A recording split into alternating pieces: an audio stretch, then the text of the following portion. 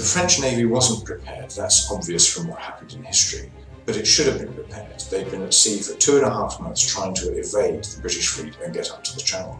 They had time to practice uh, using the great big guns that all the ships carried and to rehearse sailing, uh, manipulating the sails in order to get through. If the British had lost the battle, the French fleet would have gone up the channel, picking up reinforcements from every naval port they came to and pushing aside the British blockade and secured the crossing between the French invasion port of Boulogne and their target on the English coast, whichever port that might have been. Probably Pevensey, because that's advantageous for the tides and there's a big beach and it was lightly defended. The British had ploughed a lot of effort into defending Dover, but it's an untenable idea. You can't land infantry at the bottom of the cliff. The British, the whole British strategy, grand strategy, was that the fleet would stop any invaders at sea. If they got through the fleet, there were not enough troops to stop them. There was a garrison in Dover where they'd gone to great expense to provide accommodation and uh, stairways leading down to the beaches below the cliffs, but no man in their right mind would attack there. Um, the rest of the country was in a real panic.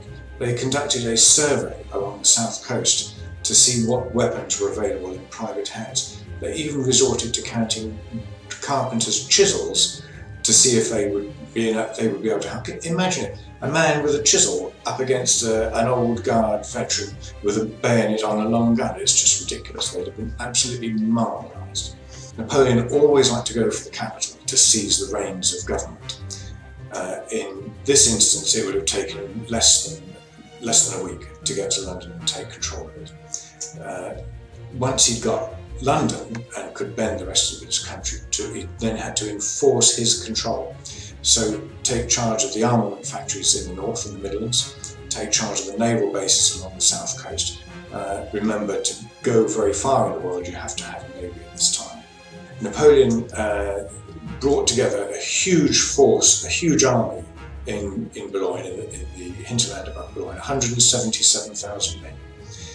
He assembled a fleet of 2,000 barges to take the troops across the channel. There were three sites, three sorts of barges. There was a sail-powered 125-foot uh, with uh, a drawbridge at the front to let the troops down onto the beach.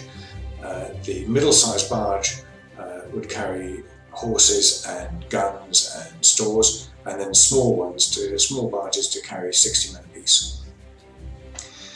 He even timed, got, got the embarkation timing down to a fine art. They timed 25,000 men, 25,000 men getting on their barges in less than 20 minutes. That's an incredible feat which we weren't even able to replicate in World War II.